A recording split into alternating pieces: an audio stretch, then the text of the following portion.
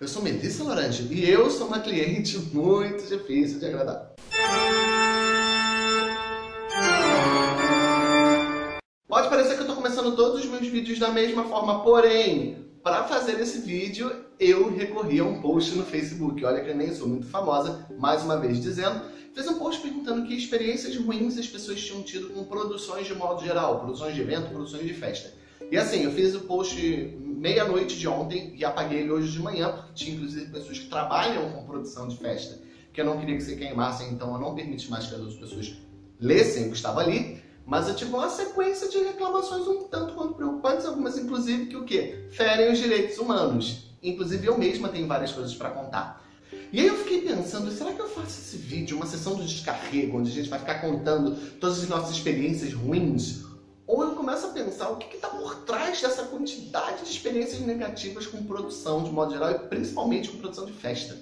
E principalmente produção de festa para o público LGBT. E principalmente produção de festa para o público LGBT que envolve drag queen. E principalmente para as drag queens. O que está errado aqui? Claro que a gente pode falar sim sobre algumas dessas reclamações, que elas são muito importantes para a gente pensar que tipo de tratamento o público tem recebido dos produtores. Ou melhor, que tipo de tratamento a clientela das festas tem recebido daqueles que prestam serviços a eles. Vamos lá. Isso são diversas experiências, como por exemplo, gente que compra uma bebida que na verdade não é aquilo que está anunciado, né? Ah, eu pedi o Smirnoff, veio Natasha. Ou, ah, a cerveja verde do evento St. Patrick's, na verdade, era Sintra com anilina, e as pessoas dizendo, nossa, aqui é uma receita alemã verde com fungos de Sherevan. Ou ainda, sei lá, você manda uma lista de aniversário. Aí, vou comemorar meu aniversário aqui, você levar todos os meus amigos aqui de entrar de graça. Aí você manda pro evento, o evento caga na tua cabeça. E tem sempre aqueles casos com as festas que chamam drags internacionais para performar. Tem caso de festa que não tinha, de gente que não tinha a menor condição de produzir nada em dois estados diferentes. Que a atração demorou duas, três, quatro horas e nenhuma satisfação que as pessoas foram embora revoltadas porque elas não tinham como continuar esperando a atração principal ou qualquer outra atração entrar no palco. Passando por uma situação muito problemática que eu tive com um amigo meu que passou mal de calor numa festa, que tinha um monte de gente atochada num lugar quente pra cacete. Inclusive festa que pediu que as pessoas fossem montadas, o que é uma responsabilidade. Se você não tem ar-condicionado que dê vazão, você não pode pedir para que as pessoas cheguem de figurino, meia calça, maquiagem, peruca no carro, vão morrer. Mas a questão é esse amigo nem estava montado, ele começou a se sentir muito mal dado calor não é mesmo? E aí a gente faz uma reclamação dos seguranças serem mal educados, da situação do calor, e a festa tem a cara de pau de responder. Sentimos muito, isso não vai acontecer novamente. Desculpa, o quê? Teve festa que anunciou mais de uma vez que trariam drags internacionais para a cidade e que para trazê-las as pessoas deveriam ir nas outras festas anteriores para levantar dinheiro. E das duas vezes, elas não chamaram ninguém nem deram satisfação. E teve caso de festa que no Rio de Janeiro teve que mudar o local do evento por causa de uma emergência e escolheu outro que, obviamente, não cabia todo o público inicial para ver o show, porque o palco só tinha um metro de altura, né? Uma coisinha assim, que você via a drag daqui para cima. E um espaço super problemático onde mulheres foram agredidas e os seguranças não fizeram nada, porque eles não estão habituados, não é? A lidar com mulheres heterossexuais. E aparentemente aí teve vários problemas. A resposta da festa foi: vocês não entendem como a gente sofre. E esta frase é muito importante para a gente entender por que, que a gente passa tanto perrengue. Isso tudo ocorre porque falta um profissionalismo. Quando eu falo um profissionalismo, é a pessoa entender que isso é uma profissão, né? Que ela está produzindo negócio, está ganhando dinheiro, isso é um trabalho. Que as pessoas estão pagando ou estão de graça. Você pode fazer um evento de graça. Você continua responsável pelas pessoas, tá? Porque não é só uma questão capitalista. É uma questão ética e moral. Você é responsável por aquelas pessoinhas tá? Você não está fazendo um favor, você está prestando um serviço. Você não pode prometer atrações que não vão estar lá e achar que as pessoas não vão reclamar. Ou você também não pode dizer, venha para minha festa para juntar dinheiro para chamar essa atração e não chamar a atração e achar que está tudo bem.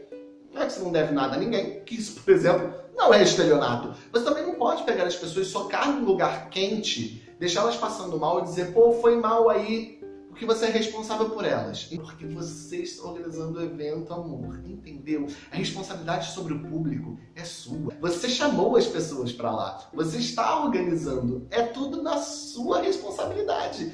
E aí você vira e fala: eu, vocês não sabem como eu sofro. Amor, não sei, não quero saber. Não é mesmo? Porque não é da minha conta. Se você está sofrendo muito, pare imediatamente, vai ser feliz.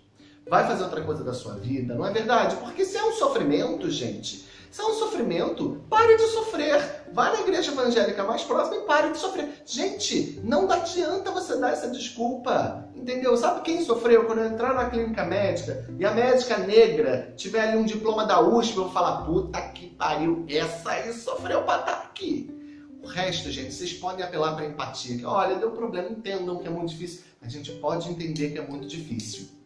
Mas a gente não tem que entender que todas as coisas vão dar errado e que a culpa é do público, porque o público está reclamando de barriga cheia. A culpa nunca é da clientela, unicamente. A clientela pode ter responsabilidade, mas não é dela. Porque você tem que prover as coisas para as pessoas. São as pessoas que têm que descobrir que elas não precisam, por exemplo, de ar-condicionado, por exemplo, de ver um show, por exemplo, de estar em segurança no espaço. E esse, vocês não entendem como a gente sofre, vira uma coisa assim, meio chantagem. Como vocês não entendem como a gente sofre, nós não vamos mais trazer drags internacionais. Tipo, por mim, foda-se, né? Tipo, beijo, tchau, vai fazer outra coisa da sua vida. Eu também vou. Existia a vida antes do povo, vai existir vida depois. Tem lugares com drags ótimas brasileiras em produções de casas antigas, tradicionais, que eu posso ir lá assistir. Claro que eu gosto das drags internacionais, claro que eu também gosto de celebridade, claro que eu gosto do programa. Mas esse tipo de argumento comigo, por exemplo, não funciona. Já vai tarde. Tenha certeza que é esse tipo de argumento que você quer usar para o seu trabalho. Como vocês não merecem o meu esforço, porque vocês não entendem como eu sofro para fazer essa festa acontecer. Vocês não merecem mais falar nem comigo, nem com meu anjo. Alô, né?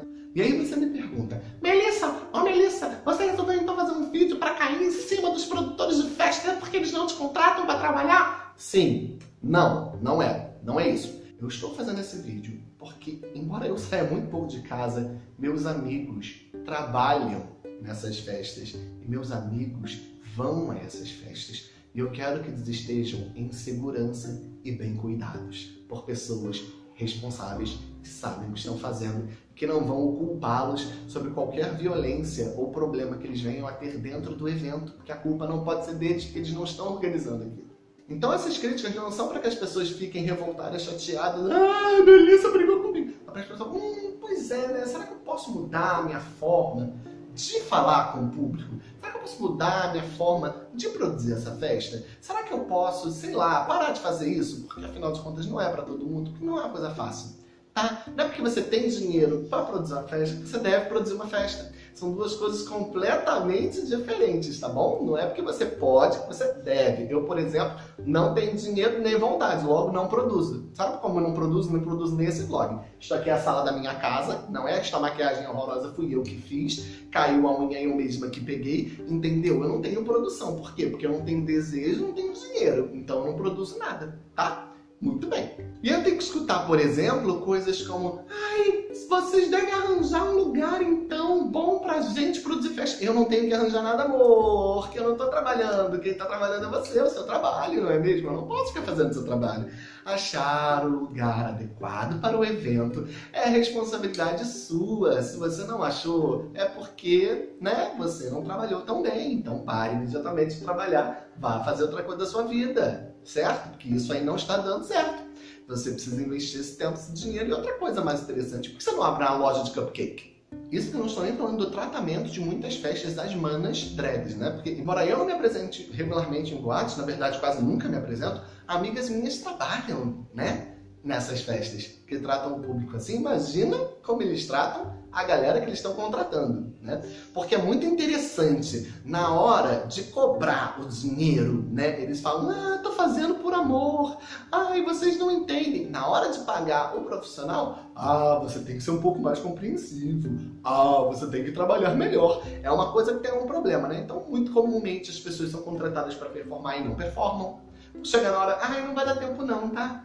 Desculpa, toma aqui o seu dinheiro. Enfia o dinheiro no cu, a pessoa se programou para performar. Ou então você deixa a drag de dó e larga ela lá. Amor, se você está contratando uma drag para ficar na porta da sua boate, é porque você está agregando valor a ela, tá? Então essa drag tem que ir ao banheiro, é muito difícil para ir ao banheiro, demora, tem que estar a pessoa ali, né? Para dar a segurada da produção. Ela tem que estar hidratada, tá bom? Porque a gente sua, né? Porque do lado de fora da boate, por exemplo, não tem ar-condicionado, né? Dentro da boate tem, mas do lado de fora não tem. A pessoa tá o quê? Derretendo. Tem que pensar no bem-estar da pessoa, porque você não quer que a drag, que é sua amiga ou que é sua empregada, contratada, qualquer coisa, passe mal, desmaie né? Mas são coisas que eu estou pedindo, não são muitas. Será que eu estou pedindo? Eu fico me perguntando se eu estou pedindo demais. Né? Se eu estou pedindo que você, quando faça uma reclamação na boate, não seja maltratado, eu estou pedindo que o público não seja culpabilizado pelo fracasso das festas, eu estou pedindo que as pessoas drag queens que se apresentam em trabalho sejam bem tratadas. Será que eu estou pedindo muito? Né? É uma questão para a gente levantar, tá? Vocês pensem aí, vocês produzem festas acharam muito ofendidos com esse vídeo? Você pensa aí um pouquinho, bota a mão na paciência, pensa, hum,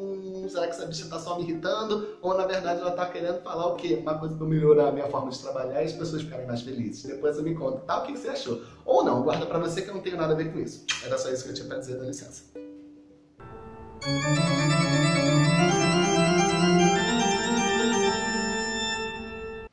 Aí a unha cai no meio do vídeo, você tem o quê? Prender a unha no meio do vídeo.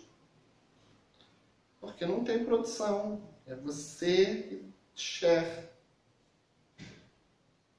para se virar sozinha, né? Porque você não tem dinheiro, não tem como contratar as pessoas, aí você faz tudo sozinho, que caiu a unha. Aí você para o que você está falando, vem aqui, pega a Super Bonder, né? E vai colando a unha. Protocolo.